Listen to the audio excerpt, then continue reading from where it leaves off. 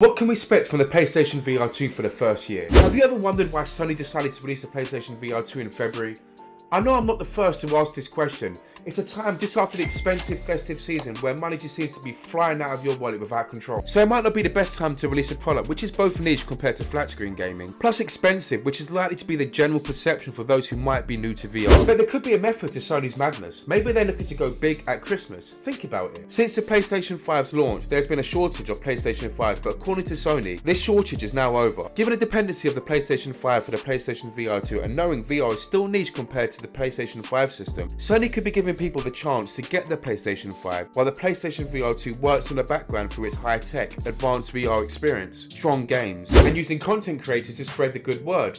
Not only is this free marketing, but it gives consumers the time needed to save and then come Christmas they drop some big guns and pick up their marketing efforts, which so far have not been that great, I'm not gonna lie. I think on paper this does make sense and of course it is speculation, but I don't know, the timing of the release is quite random in my opinion. And Sony are clearly serious about VR. They have invested a lot, announced some big games so far, so there is intent. And you can tell the designers really care for the PlayStation VR 2. Did you see the breakdown video of its components? If not, check it out. Their engineers are insane. So things like this make me think that their marketing efforts, in my opinion, don't add up. Unless they're saving it to go large at a time when consumers are more ripe. So maybe we can look at the first year of the PlayStation VR 2 as the seeds that will eventually bloom. The launch lineup is actually really strong already with 30 plus titles being the biggest VR launch in history. But I'm sure Sony will not slow down and the rumour flow is already confirming this. PlayStation 2 without parole has already said that once the reviews are officially announced that Sony has some more hidden gems up their sleeves. But during the first year we should also get some confirmed release dates for PlayStation VR 2 titles, Low-Fi, Thumper and more info on titles such as Behemoth. Also we've seen this already but I do expect more Quest exclusive type games like Beat Saber to move over to the PlayStation VR 2. And the recent news that Assassin's Creed VR will not be Quest exclusive gives us another indicator that this trend is likely to continue. Meta are really not doing themselves any justice with the questionable decisions, especially with them closing down Echo VR recently. So are Des recognising this and thinking to jump ship? It could be a possibility, but I think the PlayStation VR 2 tech is making this actually a much more alluring and maybe an easy decision for them. oh no, now we'll have to go develop games for the PlayStation VR 2. Whether the Quest 3 has something unique, even better than the PlayStation VR 2, who knows? But at the moment, PlayStation VR 2 is the place to be. And with this, maybe this is the year when Sony announced that they'll be porting some of their PlayStation VR 2 titles over to PC VR. If Sony do this, this will be beneficial and a nice touch to the developers to reward them so they can also eat from the success. Plus, it gives PC VR users a sneak peek into the PlayStation VR 2 world. And this brings me on to my next point. Will this be the time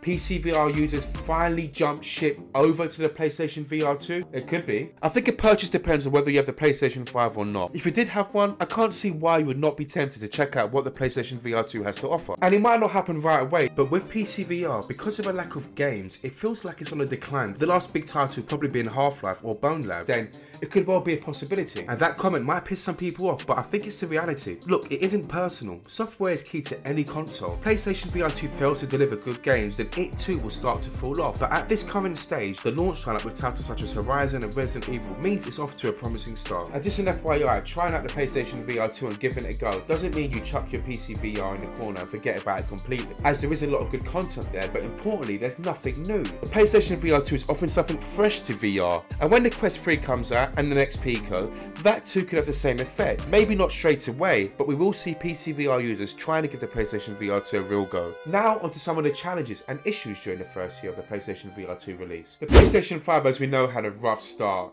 COVID, lack of PlayStation 5s available, scalpers grabbing the PlayStation 5s and selling them for stupid amounts of money. But unlike the PlayStation 5, the PSVR 2 is unlikely to run out of stock, so I think we're good here. But we might see some initial teething problems with the software. For example, the PlayStation 5 affected some users with a bug that prevented players from downloading digital games due to it getting permanently stuck at queued for download. So there could be a lot of different things like this that occur, but guess what? During any type of early life cycle, this is normal. This will likely be patched up and sorted out. The first year was always going to be important and pivotal with regards to the PlayStation VR 2 release, but if Sony are looking at VR as a long term, which I think they are, and if you have doubts over that, do check out this video here, then maybe this is the year they're building the VR foundations for a long, healthy PSVR 2 life cycle. And looking at the strong launch lineup already and speculation of more games being announced, I'm sure this is going to continue further into the year. And I do think we will see a transition of people that played other VR devices slowly come over to the PlayStation VR 2. But this might take a bit longer as reviews and new announcements might be needed to not only sway PC VR and Quest users, but the general public. I mean, I can't see why not. The PlayStation VR 2 looks like a real beast. But what do you guys think? What kind of trends and patterns do you foresee for the first year of the PlayStation VR 2 release? And guys, if you like today's video, hit that subscribe button. It means a lot and it really helps out the channel. With that being said, if you're new here, I'm TechLo. I bring VR news on a weekly basis. I release every Friday. And I'll see you guys next week. Hopefully, you'll have the